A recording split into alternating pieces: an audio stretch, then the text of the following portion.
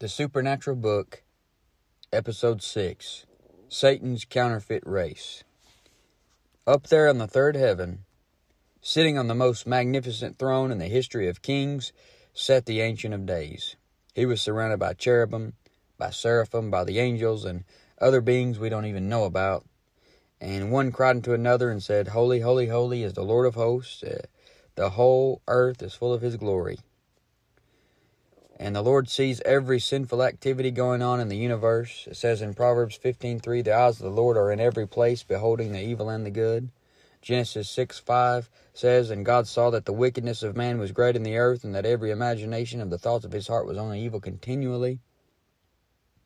Evil men and seducers were waxing worse and worse, deceiving and being deceived. They were eating, drinking, marrying, and giving in marriage, focused on the temporal. What happened was one day the devil was up there in the second heaven and he was coming up with another plan to attack the seed. You know, he attacked Abel, got him killed. The Lord had a solution for that. You know, he's constantly thinking of a way, how can I attack this seed? You know, that seed's going to bruise my head. And the devil approached some of those sons of God, possibly ones that hadn't even fell yet. And the devil tempted them into taking on flesh. He said to those heavenly beings, just look at those human women down there. Don't they look good? I mean, I've I've got them running around now with hardly any clothes on. I mean, none of their husbands are manning up. They're they're all about half women themselves. And you know, Paul's going to write one day that the women ought to have power on their head because of the angels, and none of them got that. Why don't you just go down and pick you out a bride? And they probably said, You know, what are you talking about, man? Don't you know that the angels in heaven are neither married nor are given in marriage? Well, guys, obviously, but you have to leave your first estate, leave your, leave your own habitation. Then you'll no longer be the angels of God in heaven, you see. Just look at those women down there. Look, Lucifer, if we do that, the Lord will charge us with folly. Come on, you sons of God. A little bit of fun every now and then won't hurt. Everybody's doing it. Just one time ain't going to kill you. And so they did. Didn't take much. Uh, in Genesis 6 4, it says, There were giants in the earth in those days, and also after that, when the sons of God came in into the daughters of men, and they bare children to them, the same became mighty men which were of old, men of renown. You see, those sons of God, those angels, saw the daughters of men and they went down and had children by them. This created Satan's counterfeit race. An army of wickedness. They were mighty men. The offspring of the angels and women were giants, and he was wanting something like universal soldiers to take over. He not only wanted to attack the seed, he wanted to keep his crown. And he's already knocked the crown off the head of Adam and he's not letting his guard down on these mortals again. These angels that fell and took women, they were blinded to the fact that there is no good deal with the devil. He doesn't give good advice. He just promotes the pleasure of sin for a season, but then your season ends. And those angels that sinned would end up dying like mortals. And the Lord told them in Psalm 82, 6 through 7, that hadn't been written yet, but the Lord probably told them, I have said ye are gods, and all of you are children of the Most High but ye shall die like men and fall like one of the princes. All they did was enjoy the pleasure of sin for a season. The wickedness of man was great in the earth, especially when the offspring of the sons of God got older. This was just another satanic attack on the seed. The devil wanted to corrupt the gene pool so that he promised so that the promised seed wouldn't be born. And one problem for the devil though the Lord always has a man. He's always got a man. You see, there was a just man on earth who was perfect in his generations. His generations. Genesis 6 9 says. His name was Noah. He was in the midst of a crooked, perverse nation and shining as a light in the world. He came out from among them and was separate. He wasn't conformed to this world, but he was transformed by the renewing of his mind. He was perfect in his generations. His genes hadn't been corrupted by the mixed marriages that was going on between those sons of God and daughters of men. You see, this world was shockingly evil and wicked. And I'm sure every town had it legal to do just about anything they wanted gambling, marijuana, whorehouses, psychedelic drugs, the dark web was the regular web. Uh, the black market was the corner market, you know, stuff like that. God saw that wickedness of man was great in the earth, so anybody who did righteously stuck out like a sore thumb, and that sore thumb was Noah. He was a real character. Most prob- most people probably wouldn't even believe he was real until they saw him with their own eyes. He was literally a different breed. I mean, think about it. The whole earth had been corrupted by these mixed marriages, except for Noah and his people. They were literally a different breed. They thought he was strange because he ran not to the same excess of riot, and they spoke evil of him. They were constantly telling, they're constantly saying, Noah, much learning doth make thee mad. Well, Noah couldn't help that he walked with God for hundreds of years. I mean, you're bound to learn something in that amount of time. But they thought he was mad. They're like, much learning doth make thee mad, Noah. But it says in Genesis 6 9, these are the generations of Noah. Noah was a just man and perfect in his generations. And Noah walked with God. A lot of people picture Noah as this old looking guy who walks around with a cane and talks like this or something. I don't believe that because look at the condition of the earth before the flood, right? Genesis 6, 12 through 13, And God looked upon the earth, and behold, it was corrupt. For all flesh had corrupted his way upon the earth. And God said unto Noah, The end of all flesh is come before me, for the earth is filled with violence through them. And behold, I will destroy them with the earth. You see, the earth was corrupt, it was messed up, it was looking bad. Now I'm going to give you some speculation here. Hope you don't mind me speculating just for fun on a rainy day. But think about this if Noah was the only righteous man alive, then you would have corrupt men running everything and doing what was right in their own eyes. And I'm just speculating, but I see Noah as a rough character that had guns in the shed, swords in the basement, uh, nunchucks, switchblades, brass knuckles, and played dirty in a fight. You know, pulled hair, kicked below the belt, throat punches, stuff like that. Like I said, I'm just speculating, but I see Noah wearing a, a worn out trucker hat with a long beard, something like Aaron's beard that says it went down to the skirts of his garments in Psalm 133 2.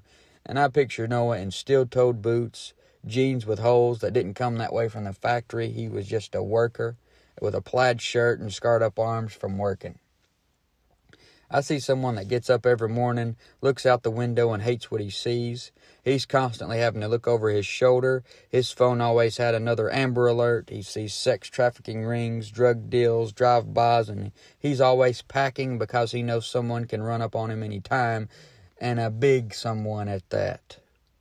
Job sixteen fourteen said, He breaketh me with breach upon breach. He runneth upon me like a giant. And there was giants in the earth in those days when Noah was walking around. I guess Noah was an average sized guy, but he was still like, you know, little people in a big world.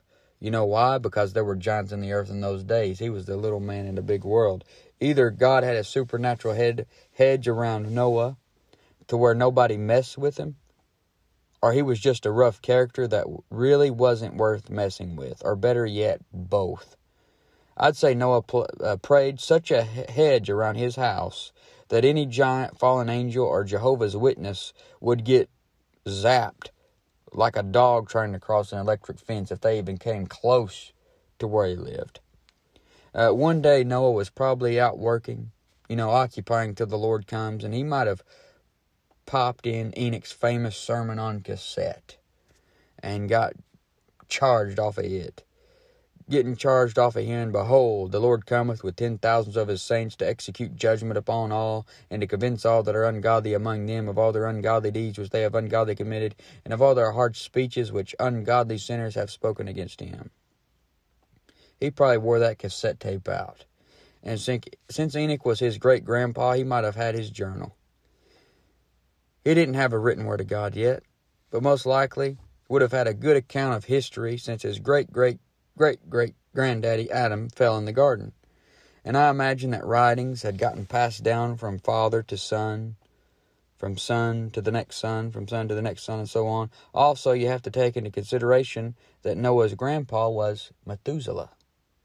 And Methuselah was so old that he was walking the earth at the same time that Adam's heart was still ticking. That's pretty amazing. And these guys would have known some things. They may not have known as much about the scriptures as someone like Paul and the Apostle John, but they would have had a familiarity with God and the spirit world that we just don't have today. The knowledge the knowledge Noah had would have been enough to be a premillennial creationist because his granddaddy was. So anytime one of those giants got on TV claiming they were bringing in world peace with this one world government, Noah would have said this is all this is all baloney. And he wouldn't have believed it for a second. Noah was 600 years old when the flood came on the earth. So he was in his 400s when he received the prophecy from the Lord about the coming flood. But yeah, Noah was probably out there one day occupying till the Lord comes. He was probably out there working with his own hands because, you know, if any man provide not for his own, he hath denied the faith and is worse than an infidel. And all of a sudden, Noah heard something like thunder. At first, he thought maybe it was one of those T Rexes or one of those giant pride rallies. But then he's like, no, no, this is this is holy. And he began to hear something that sounded like the voice of many waters. And it said, My spirit shall not always strive with man, for that he also is flesh. Yet his days shall be an hundred and twenty years. The end of all flesh is come before me, for the earth is filled with violence through them. And behold, I will destroy them with the earth. Make thee an ark of gopher wood. Room shalt thou make in the ark, and shall pitch it within and without with pitch. And Noah, being the Bible believer that he is, believed the Lord. So Noah realized the Lord is talking to him just like he talked to Enoch, just like he had read about in the journal. If he had one, I'm just speculating. So do you know what Noah did? Genesis 6:22 Thus did Noah according to all that God commanded him so did he. The only thing Noah was really afraid of was God himself. It says in Hebrews 11:7 by faith Noah being warned of God of things not seen as yet moved with fear prepared an ark to the saving of his house by the which he condemned the world and became heir of the righteousness which is by faith. Noah said, Ham, Shem, Japheth, that was his three sons. Start gathering up gopher wood. Are like, huh? What's gopher wood, Dad? It's wood that you go for when your dad says so. Don't you know that if you honor your father and mother, that your days will be long upon the earth? So get with it. Uh, Noah started building, started the building program immediately. Noah had just been walking with God, and God dropped down a piece of the sword. Just a piece of this sword would help him against the wiles of the devil. That's all he had was a little piece. The sword is obviously in the form of words from God. And the words of the Lord to Noah was, The earth is filled with violence. Through them I will destroy them with the earth. Make thee an ark of gopher wood. That was his sword. That was the key. That word was the key to not ending up like the sinful world. Noah possessed the greatest thing on the planet. It wasn't the ark, it was the piece of the sword that you've been hearing about through all these episodes. Imagine the street preaching adventures of Noah. And keep in mind that it had never rained before. A mist had been coming up from the earth to water the whole face of the ground. Genesis 2 6 says. Noah was going around preaching that water was going to fall from the sky and everybody would have thought he was ready for the insane asylum. Yet Noah was in an insane asylum that was run by the inmates, those giants. Noah and his family were the only sane ones. It doesn't seem Noah had one convert. I mean, he might have almost persuaded them to get on the ark. He might have put some some under conviction about the wrath of God being a real thing. But it isn't all about how many converts you get anyway. It's about how much truth you're putting out there. Noah may not have had many souls under his belt, but he's still in high regard with the Lord. And 2 Peter 2 5 says he's a preacher of righteousness. So imagine Noah out there preaching on the street 120 years. Get right with God, the rain is coming.